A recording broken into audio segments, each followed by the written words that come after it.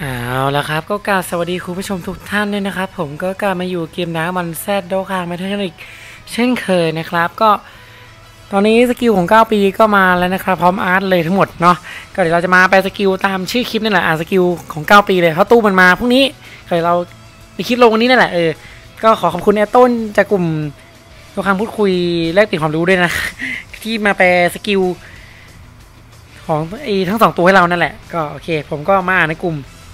ผมได้ไม่ต้องไปนั่งแปลเนาะดีดีโอเคก็โบลี่โบลี่มันมีสองร่างแล้วก็ร่างแรกกับร่างแปลงแถมแปลงน่าจะกางอาณาเขตเลยมาเนี่ยอ่านให้โบลี่เป็นตัวสีฟ้าเนาะจะนำ movie ไอ้ฮะอ๋อ super boss เออ cat ใหม่เลยนี่หว่าตอนแรกนึกว่า movie อ๋อนำ super boss เลยแล้วก็ transformation boost และฟุ l พาวเวอร์เนาะ ki บวกสามทุกอย่างบวกร้อยเจ็ดสิบเปอร์เซ็นต์แล้วจะบวกอีกสามสิบเปอร์เซ็นต์เมื่อติดแคท exploding rate กับ movie boss ก็โอเค แถมร่างแรกท่าเล็กท่าใหญ่คือ stack โจมตีแต่ท่าใหญ่ stack ห้าสิบเปอร์เซ็นต์อ๋อแถมอ๋อท่าใหญ่ได้เพิ่ม defense แบบ greatly แถมสี่ turn เออก็ดีอะแถมมันน่าจะได้ท่าท่าใหญ่ง่ายเนาะได้แบบเนี้ยเออ passive โบลี่จะมีแอนิเมชันเปิดตัวด้วยก็ ถ้าเราได้มาเดี๋ยวเราคงรีวิวให้ดูในเซิร์ฟญี่ปุ่นนั่นแหละปกติว่าเราจะได้หรือไม่ก็ไปลุ้นกันอีกที เนาะเนาะโอเค แล้วก็ตั้งต้น ki บวกห้า ทุกอย่างบวกหนึ่งร้อยใช่ปะอ๋อไม่ใช่ไม่ใช่นี่นี่ตอนใช้งานแอนิเมชันเปิดตัวเนาะก็จะได้ ki บวกห้าพลังโจมตีป้องกันบวกหนึ่งร้อยเปอร์เซ็นต์แล้วจะตีอ๋อแล้วเบิ้ลไม้ตายด้วยเบิ้ลไม้ไม้ตายสี่ turn นะแต่โบลี่ปรากฏตัวออกมาเลยแล้วตั้งต้นร้อยห้าสิบเนาะมีการ์ดด้วยโอก็โอเคนะ มีการ์ดด้วยถือว่าโอเคเลย แล้วได้ ki บวกหนึ่งทำทุกแก้วได้เก็บได้ก็โอเคไม่ไม่ได้แย่ไม่ได้ดีเกินไปเนาะไม่งั้นมันจะโกงเกิน เพราะดูจากสภาพมันน่าจะแรงอะ เออเราจะได้พลังโจมตีบวกอีกห้าสิบเปอร์เมื่อตีด้วยท่าไม้ตายเนาะเราจะได้ defense อีกห้าสิบเมื่อโจมตีด้วยท่าท่าใหญ่ ก็โอเคครับปกติเราก็เล่นท่าใหญ่อยู่แล้วอะท่าเล็กไม่ค่อยได้ยิง เออเพราะงั้นมันคงได้เบิ้ลอยู่แล้วเนาะ แล้วก็จะได้คีบวกสองแล้วโจมตีเป็นได้เบิ้ลไม่ตายอีกเมื่ออยู่ช่องหนึ่งหรือช่องสอง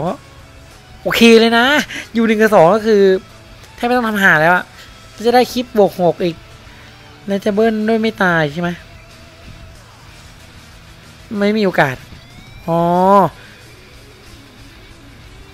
ก็คือให้อยู่ตำแหน่งที่สามจะได้คีบกหกแล้วจะเบิ้ลไม่ตายหนึ่งรอบก่อน แล้วก็จะได้จะจะมีโอกาสเบิ้ลไม่ตายอีกรอบหนึ่งเนาะเออมึงเป็นโอกาสห้าสิบเปอร์เซ็นต์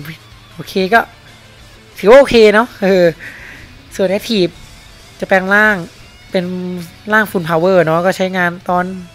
ไหนอะเงื่อนไขใช้งานเมื่อผ่านไปแล้วห้าเทิร์นหรือมากกว่าโอเค ก็ไม่ได้เร็วไม่ได้ช้าเกินไปก็ประมาณโต้เนาะแต่พอหลังจากแปลงร่างปุ๊บเราจะกางอาณาเขตทันที แต่ไม่รู้ว่ามันจะคือร่างอะไร effect domain สมาชิกทีมอ๋อเอฟเฟกของโดเมนก็จะทำให้สมาชิกตัวร้ายได้ ki บวกสี่แล้วก็ได้พลังโจมตีป้องกันเพิ่มอีกสิบเปอร์เซ็นต์แล้วมีสมาชิกอ๋อถ้าติด cat exploding rage หรือมูวี่วอลก็จะได้พลังโจมตีป้องกันเพิ่มอีก 10%เนาะก็ถือว่า โอเคโอเคแล้วก็ถ้าทีมเรามีตัวดีใช่ไหมอ่าเราจะโดนความเสียหายแรงขึ้น ก็ดีเราไม่ได้เราไม่ได้เอาไปเล่นทีมตัวดีอะโบลี่มันนำตัวร้ายอะใครมันบ้าไปเล่นตัวดีไปถามจริง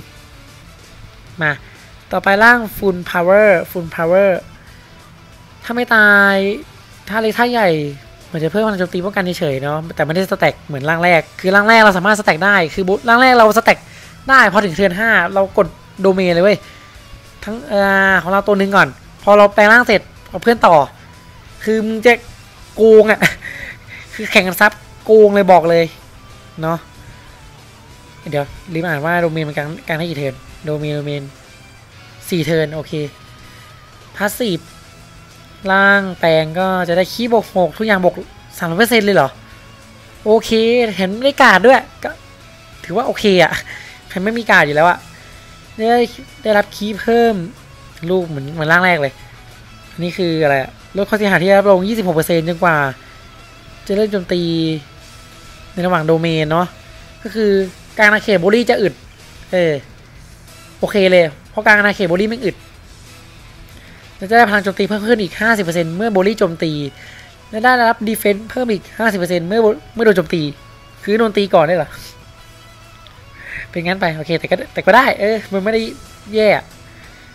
แล้วจะเบิ้ลไม้ตายเพิ่มด้วย โอเค ได้รับ critical โอกาส critical บวกอีกยี่สิบหกเมื่อตีด้วยท่าไม้ตาย เพิ่มแค่เพิ่มแค่ยี่สิบหกเปอร์เซ็นต์ใช่ไหมเออถ้ากางเบิ้ลไม่ตายเพิ่มและได้รับโอกาส คิริคอนอีกยี่สิบหกเปอร์เซ็นต์เมื่อโจมตีด้วยท่าใหญ่ก็คือเล่นท่าใหญ่มีโอกาสขี้อยู่แล้วห้าสิบเปอร์เซ็นต์เนาะแล้วจะเบิ้ลอีกเมื่อเมื่อเก็บคีได้ยี่สิบสี่คือมันเก็บคีได้ยี่สิบสี่ง่ายมากเลยนะ ถ้าดูจากลิงก์เนี่ย มันเอาไปเล่นกับตัวเก่าได้เลย เนาะโอเค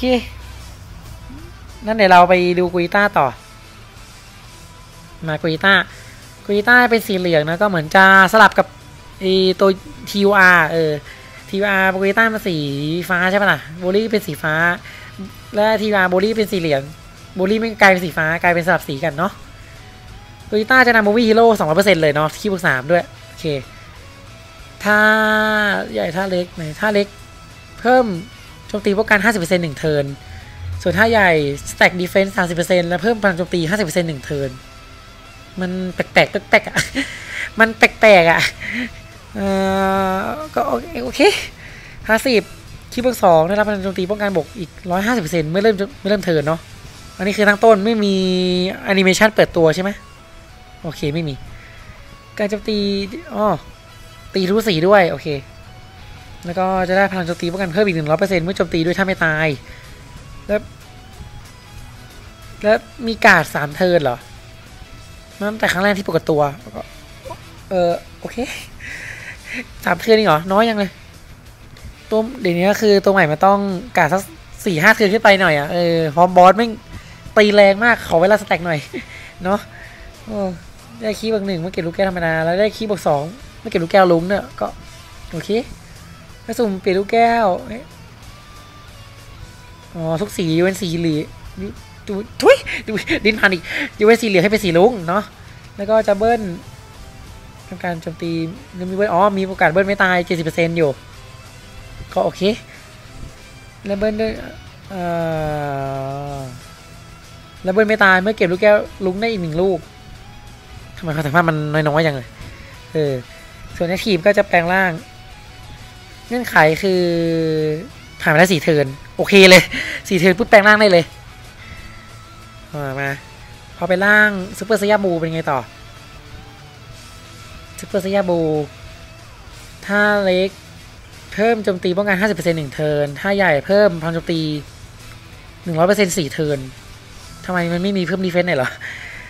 โถเอ้ยมันแปลกๆอะ ตั้งแต่ผมอ่านมา มันเริ่มแปลกๆเนี่ยมันไม่มี defense เลยมันมันจะปอหรือเปล่าอะ เออ แล้วก็ passive จะฟื้นฟูเลือดห้าสิบห้าสิบถุยอีกแล้วลิ้นหน่อยอีกแล้ว sorry จะฟื้นฟูเลือดห้าสิบสี่เปอร์เซ็นต์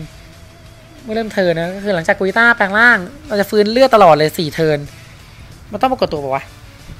อ๋อใช่ใช่สี่ turn ก็โอถือว่าโอเคนะก็เพิ่มเลือดอะเออเลือดต่ำก็เพิ่มเลือดเลือดต่ำก็เพิ่มเลือดสี่เทิร์นโอเคเลขที่บวกสามแล้วตั้งต้นอีกสองร้อยเปอร์เซ็นต์เนาะแล้วก็ตีรู้สีโอเคยังสีว่าโอเคมีตีรู้สีนะเออไม่มีคีย์เหมือนร่างทีวาการตีคีย์แบบนี้ เก่งๆเลยอะเออได้พลังโจมตีป้องกันเพิ่มหนึ่งร้อยเปอร์เซ็นต์เมื่อตีได้ถ้าไม่ตายได้คีบวกสองเมื่อเก็บลูกแก้วเนาะก็โอเคอะก็เหมือนเอาความสามารถอ่าร่างแรกมาอัปเกรดเฉยเออจะเก็บลูกแก้วธรรมดาได้หนึ่งลูกไงเก็บลูกแก้วธรรมดาได้สองลูก แล้วเอาลุงออกไปเลย ลุงก็ได้เหมือนได้สองลูกเหมือนกันเนาะแล้วก็สุ่มเปลี่ยนลูกแก้วให้เป็นสีลุงเหมือนเดิมเออที่เป็นสีเหลืองเดบิลไม่ตายฮะ ออไม่เก็บลูกแก้วสีลุงอีกแล้ว อีกแล้วเบิ้ลไม่ตายไม่เก็บลูกแก้วสีลุงก็ใช่ไหมโอเค คือถ้าไม่มีลุงคือก็ชิบหายแค่นั้นเองไม่มีลุงก็ไม่เบิ้ลโอเคได้มีโอกาสหลบศัตรู70%ใช่ไหมมีโอกาสคิดข้อนี้20%ตามจำนวนครั้งที่หลบได้ อ่า มันน่าแบบนี้มันจะพูดไงเนี่ยอ่า มันถ้ามันหลบห้าครั้งคือการตีคิดข้อหนึ่งร้อยเปอร์เซ็นต์เนาะเออ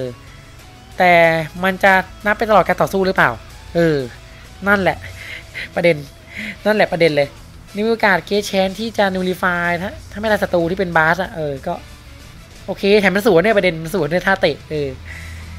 แล้วทางนี้มี active เลยเว้ยมี active เลยอ่า active จะเพิ่มพลังโจมตีหนึ่งร้อยเปอร์เซ็นต์อือฮึอ๋อ mechanic ใหม่นี่ไงก็คือจะให้ศัตรูที่ไปตีตำแหน่งอื่น มาล็อกเป้าที่มันตัวเดียว เป็นเวลาหนึ่ง turn และกุยต้าจะการันตีหลบหนึ่ง turn ด้วย โอเคเลย เงื่อนไขคือใช้ได้หลังจากกุยต้าแปลงร่างก็คือการมาอีก turn หนึ่งอะ ก็ถือว่าโอเค ไม่ได้แย่ไม่ได้ดีเกินไปก็จะพูดไงเก่งกว่าบีโต้นิดนึงเก่งกว่าบีโต้นิดนึงก็อ่าโอเค ก็คลิปนี้คงไม่ได้มีแล้วถ้าเราแค่มารีวิว skill มันนั่นแหละอะเนาะก็โอเค ก็สับใครชอบคลิปนี้ก็ฝากกดไลค์สับใครแชร์ และเป็นกำลังใจให้ผมสร้างผลงานที่ดีด้วยนะครับ ก็เดี๋ยวพรุ่งนี้เราจะมาทำคลิปสุ่มกันเนาะก็ผมก็พยายามฟาร์มอยู่ตอนนี้ฟาร์มได้ 200 กว่าเพชรละก็เดี๋ยวครบ300เดี๋ยวเราคงมาทำคลิปสุ่มกันนั่นแหละตู้ระลูปเนาะเพราะเพชรเราไม่ได้มีอะไรมากนะเซอร์วิสผมเราไม่ค่อยได้ไม่ค่อยจะได้เล่นเนาะโอเคสำหรับนนี้ผมขอตัวลาไปก่อนสวัสดีครับ